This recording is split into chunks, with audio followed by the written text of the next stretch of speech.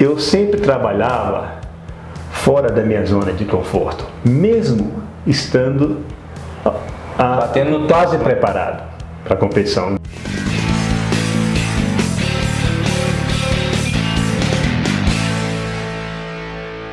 Eu senti necessidade de fazer velocidade.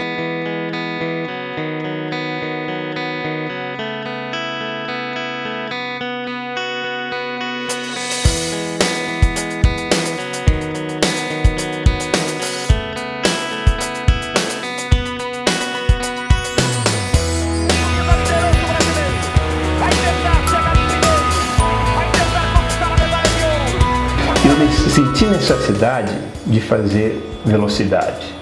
Eu falei, Luiz, a minha Tô velocidade. perdendo velocidade. Não, não tô perdendo, porque a gente tava chegando próximo ali. Não, sim, aquele feeling de que, pô, tô me sentindo. Não, eu senti a lento. necessidade. Não, não é porque não é isso, eu senti necessidade de fazer mais. Sim. Eu, eu tinha 3 milhas pela manhã e um treino de 600 pela tarde, tá? Eu pedi ele para fazer três sets de 3 vezes 150 pela manhã e voltar à tarde para fazer os 600. Ele não queria deixar. Falei, Luiz, deixa, eu, eu- tudo fica tranquilo, eu não vou machucar. É, que esse é o principal medo, né? Esse é o primeiro Ah, principal controle. Outro treino que eu fiz, que não acho que ninguém faria, eu fiz o treino de velocidade, de lactato. Aí ah, descansei um pouquinho na pista, terminei o treino, fui para. A gente tinha um cemitério antigo, né? Ah, ah, 1800 e pouco.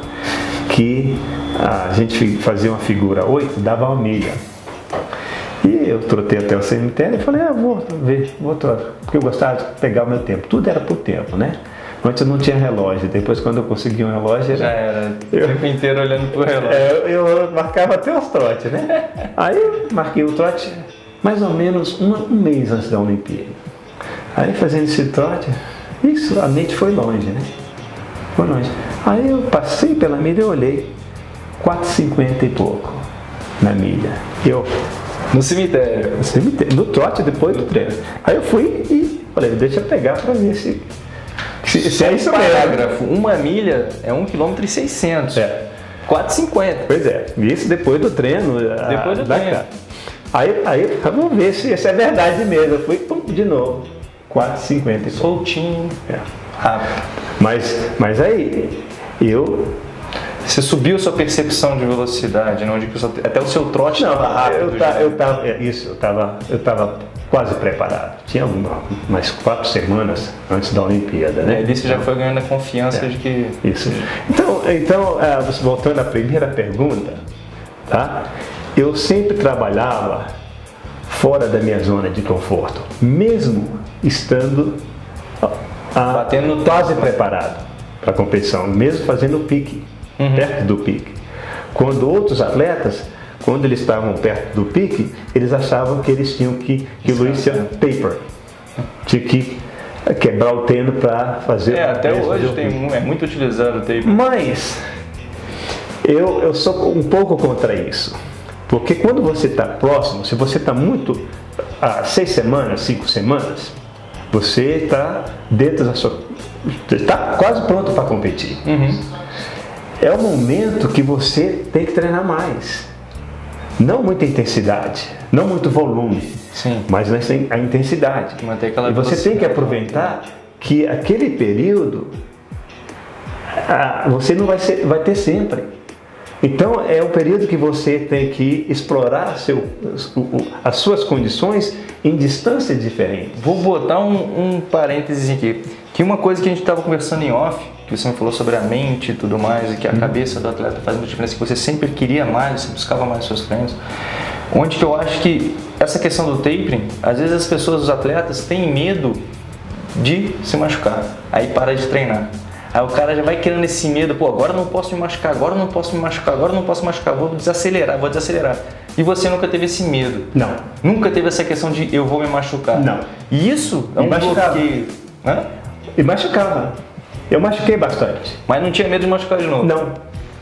E do que você tirou esse freio de Não vou treinar porque eu vou me machucar. Porque as pessoas têm medo de fazer as coisas por conta de, ah, eu vou me machucar, então não vou O fazer. que, que acontece quando você tem medo? Você não faz, né? Você Não, você não faz e vai machucar. Ainda tem isso, né? Tem. Ainda tem isso. Você Eu, tá... eu fazia, eu fazia corrida, ia trotar. Ninguém queria trotar, trotar comigo. Porque o trote era forte.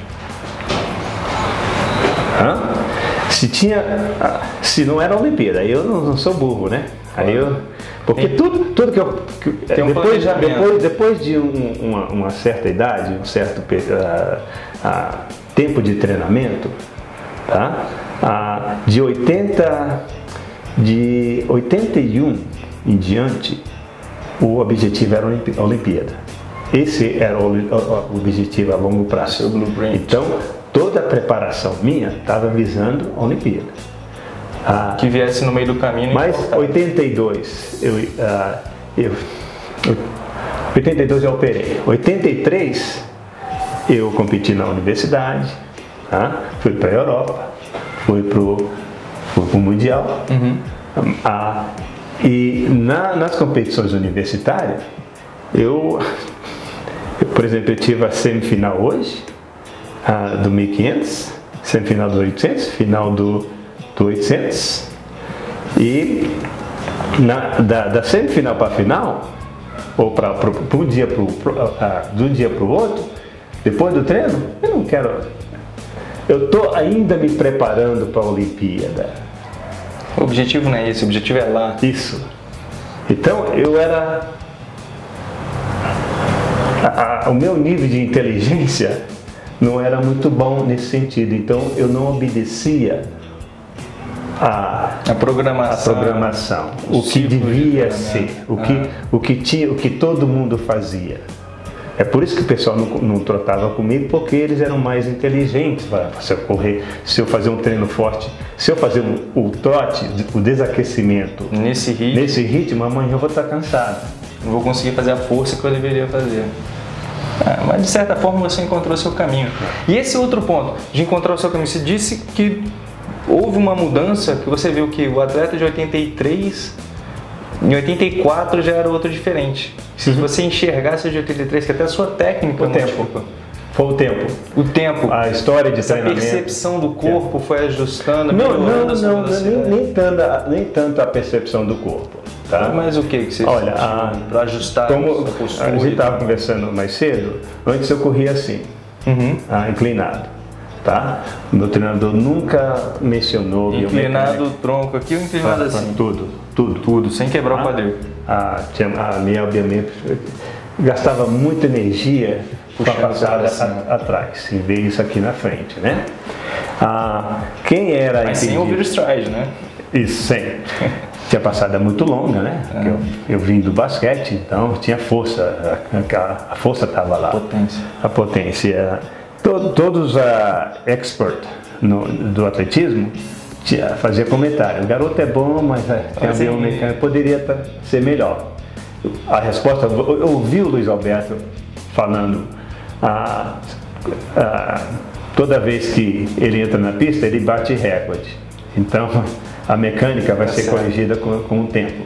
Mas ele nunca mencionou para ele, vamos fazer isso para melhorar a mecânica. Eu acho que ele não sabia. Mas ele me dava educativo. E eu fazia educativo. Aprimorar esse E movimento. com o tempo fazendo educativo, eu fui corrigindo naturalmente, sem pressão, sem, sem a- a- acelerar o processo, porque às vezes quando você faz muita biomecânica, você estressa muito o músculo que, que não devia estar estressando demasiadamente, né? Então tem isso na velocidade, você não tem, tem Não, sim. que só sim, faz tem mecânica Potência não só faz mecânica, então o cara vai machucar. Mas se você fizer ah, um pouquinho todos os dias, ou três vezes, quatro vezes na semana, Isso. isso va- vai melhorar. Até porque eu acho que eu machuquei muito por causa da minha mecânica e a diferença na minha perna de 2 centímetros.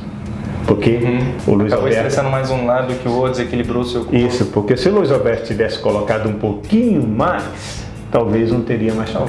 Talvez. É, Ou- não dá pra gente voltar no Ou colocando, coloca, eh, colocado ênfase, né? Vamos colocar um pouco mais de ênfase na, na mecânica, alongamento, Legal. outros Joaquim, você é um poço de, de conhecimento, de, de experiência, né? Porque você, além de você ter sido esse atleta por, ao longo desses anos todos, e ter conseguido o que você conseguiu, você também já treinou vários atletas de alto nível. Está acompanhando muita gente. E além desse pessoal Em base. esportes diferentes, né? Teve, teve um período que eu passei o período de a fase de, dos triatletas, né? Você estava Ah, com a galera do triatlon também? A McKinley Jones, a, Pô, a Reed, legal, a um monte de pessoal da Nova Zelândia, porque o- os triatletas, eles se, era a tribo de índio, né? E San Diego é um, um lugar bom para triatleta, né? Então eu comecei a treinar um, depois veio outro, depois veio outro. De repente estava com Uma 10 galera. triatletas, rapaz, de top lá Pô, que legal, que legal, que legal. Pois é, e vamos falar um pouquinho mais do Instituto. Como é que está trabalhando o Instituto hoje? Como é que ele funciona? Como é que você abraça essa galera que precisa de uma orientação esportiva? O que eu gosto de falar muito do esporte é que o esporte é uma ferramenta para a vida, né? O que a gente faz no esporte, a gente faz para a vida. Então, trabalhar o esporte para moldar o, o cidadão, né? Porque a gente sabe que trabalho de infantil não é o esporte infantil, o esporte como um todo, não é para ter mais um Joaquim Cruz ou ter 10 Joaquim Cruz, que seria fantástico. Mas passam muitas crianças, mas que se a criança for um, um cidadão, como o Joaquim, assim, vamos Isso. dizer, bem sucedido, saber onde quer chegar na vida, seja no que for, né? Não, mas esse é o objetivo de Esse é o objetivo. ah, da gente oferecer ah, serviço, trabalho, a, a programas que visa resgatar, convidar esses garotos da- da- das comunidades para participar, com o objetivo de, de que ele ah, se incute ali com a brincadeira de fazer atletismo, movimentos, e ali a gente aproveita aquela, aquele ambiente para exigir na educação, exigir, exigir a disciplina, exigir que ele, que ele cuide do corpo ah, de uma forma melhor, ah, ou corretamente. É, que querendo ou não, você já vai afastando as crianças dos maus hábitos, Isso, né? porque- Álcool, drogas, outras coisas. Isso, porque dependendo da idade dele, tá? principalmente o adolescente, na fase, início do adolescente, ele, ele tá, é aquele período que ele começa a querer a se enturmar, encontrar a- o, a o grupinho dele, né? Então, se ele não tem não tem uma atividade no período, no segundo período, no primeiro período da escola, né? O segundo período é um período que ele fica mais ah, se ele não- Vulnerável, né? é, se ele não, não tem uma atividade que o pai dele ah, Normalmente os pais estão na rua, né? Pois é, estão na rua, ou estão trabalhando, Trabalhando, e o garoto fica rua. em casa ou assistindo televisão, que não é mais o caso, né? É jogando videogame e, e tentando encontrar o grupo dele, bater bola ou, ou marginalidade, né? Então a gente tenta ah, É uma ah, orientação. ah, encontrar esse garoto antes que ele encontre uma, uma, uma situação Então, legal, não é apresentar essa ferramenta. E como é que as pessoas podem conhecer melhor o seu projeto, apoiar o projeto, estar junto do projeto? Porque um projeto como esse é imprescindível que a sociedade participe, né? esteja junto, porque a gente tem que entender sempre que o problema não são os outros, né? A gente tem que participar do problema porque a gente vai participar da solução, né? É, Tem que dar a solução para a gente, tem que estar todo mundo junto. E como é que a gente pode contribuir com o Instituto? Olha, a- nós temos muitos desafios, tá? Porque nós temos a, a comunidade que não tem muita, muita oportunidade, principalmente na, na- no esporte ah, fora da escola. Então nós precisamos de mais gente eh, contribuindo para o Instituto. Tanto o Instituto- profissional quanto a Ah, professora. O profissional que eu digo isso. é o profissional de educação física, para auxiliar no, no treinamento tudo mais. treinamento, a, a- a- mais a, a- a- a- a- nós, nós estamos passando pela fase de captação, para fortalecer o Pra instituto para a gente poder, né? para poder a gente eh, trabalhar ah, com os garotos, né? Dar mais oportunidade, abrindo, ah, ah, ah, dando suporte para os núcleos que já, tem, que já estão formados e futuramente criar outros núcleos. Nós chegamos a ter seis núcleos. Seis? Ah, é, infelizmente a economia deu uma quebrada e tivemos que diminuir para três. Pô, tá? O objetivo é ter mais núcleos, tá? manter, manter o, que, o que tem, manter, eh, dando suporte bem, e criar E outros crescer, e né? atender mais, mais crianças. Né? Não, legal. Quais são os centros hoje em dia que você tem? Nós estamos na Ceilândia, no Recanto das Emas Uhum. e, e na Samambaia. Legal. São quantas crianças assistidas hoje em dia? Ai, ah, olha, a gente atende de assim, assim com, com, com, com os kits, né? Até, de, até 30. Mas aí tem, ah, você não vai, você não vai, Vai restringir. só 30. Então tem ah, de 150, 200, 300 garotos, né, juntando ah, os todos os núcleos. Legal. Joaquim, mais uma vez eu sei que você está com horário aí, tem que partir já. Você vai voltar para casa. Infelizmente não é mais aqui no Brasil. Mas, cara, satisfação, uma honra poder trocar essa ideia com você, bater esse papo. Infelizmente gente não conseguiu gravar tudo que a gente conversou aqui, a gente conversou muito antes ali. Mas obrigado, porque você enfrentou sua camerofobia, conseguiu falar muito aqui, trocar uma ideia com a gente. E pô, manda uma mensagem para todo mundo que, que segue aí o Corrida Perfeita, que tá junto, procurando uma corrida mais eficiente, menos. E principalmente, ver a corrida como uma ferramenta para melhorar a vida. E, ah, e aí, pessoal, minha mensagem é: vocês têm uma, um grande desafio aí, que é manter a corrida perfeita aqui, a perfeita, ah, é um desafio tremendo aí, É trabalhar de acordo com o nome, né? Ah, ah, parabéns por estar participando e para aqueles que não tão, estão participando, participem. É, uma, é um programa legal, tá? um programa que envolve saúde, a social, a, a- tá. venha para o clube das corridas. Tá? Isso, vamos junto, gente. Lado a lado, uma corrida perfeita. E lembre, tem muita gente que está em busca de uma corrida, não sempre só por conta do esporte em si, mas para formar um cidadão. Se possível, procure, acesse lá, dá uma olhadinha aqui no link na descrição do nosso vídeo para você ter mais informações sobre o Instituto Joaquim Cruz, para que a gente possa contribuir de uma forma mais ampla para a corrida. E lembre-se que sempre que você está dando, você está recebendo muito mais, tá? Vamos que vamos, gente. Lado a lado, uma corrida perfeita. Muito obrigado, Joaquim. Obrigado, Grande hein? abraço. Fique bem, cara. Davi Joaquim vai assumindo a liderança brasileiro. Vai tentar chegar em primeiro. Vai tentar conquistar a medalha de ouro uma prova difícil para o brasileiro. Ele tenta passar na frente, a cor foi embrasada. Passa à frente, Joaquim Cruz. Perde a medalha de ouro. Olha a emoção que toma conta do Coliseu.